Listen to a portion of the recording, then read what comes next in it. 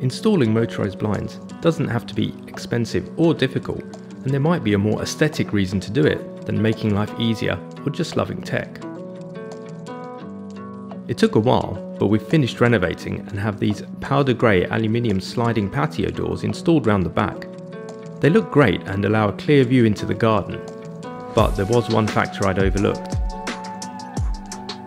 It's a beautiful morning, the kids are having breakfast, and I'm about to sip my coffee. Dad, it's too sunny. I didn't realise how much direct sunlight can stream in on those rare sunny days, especially in the mornings. I need to get some blinds. But I don't want the solution to obstruct or diminish the view. For those reasons, curtains or Venetian blinds are off my list, and I'm going with roller blinds, but that choice leads to a different unsightly problem. With an opening of about 3.5 metres, I'm using three sets of blinds. Each will have a pull cord, and that means the cord for the centre blind has to hang there unceremoniously in the middle. And that's the main reason I'm motorising the blinds, to get rid of that cord if there is another way that I've overlooked, let me know in the comments. The easiest way to get electric blinds would be to order them directly from a specialist company. If you're happy with the style choices they offer, that's probably the most cost effective solution. But even though I'm no DIY expert, I figured I could get the blinds I wanted from anywhere and then motorise them myself. The only catch is, since I'm fitting multiple blinds in this recess, I'll need to do it in two stages. I'm using one roller blind to cover each glass panel, so three in total, but I'll order and fit the middle section first.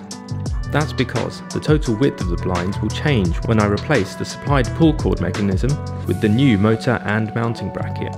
After checking the difference in width compared to what I ordered, I can incorporate that adjustment when I purchase the second and third sets of blinds.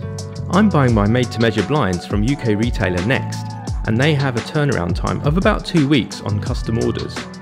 The roller tube for blinds can vary in size, so I need to measure the inner and outer diameter to get a motor that fits. These motors also need a different mounting bracket, and I'll leave a link in the description to the parts I used. You can get motors with built-in rechargeable batteries that can be charged using a phone charger or USB power bank, but my one is mains powered. I'll replace this comically short power cable with the terminal block and once the blinds are mounted, I'll connect them to the power.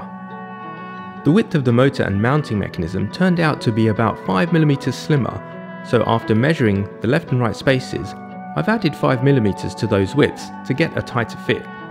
We'll see how that translates, but really, you probably don't need to. With the blinds installed, it's time to configure them. Although each motor came with a remote, I want all three blinds controlled by the same one. To avoid blind chaos, I'll power up each blind separately and then use the same remote for the pairing and height adjustment process. That process usually involves pairing the remote, checking the up-down orientation of the remote matches the direction of the blinds, and then setting the upper and lower limits. The exact button presses to achieve that can vary, so probably worth paying close attention to the instructions that come with it. But after that's done, if you thought the video was cool or useful, let me know and subscribe for more home hacks. Until then, adios.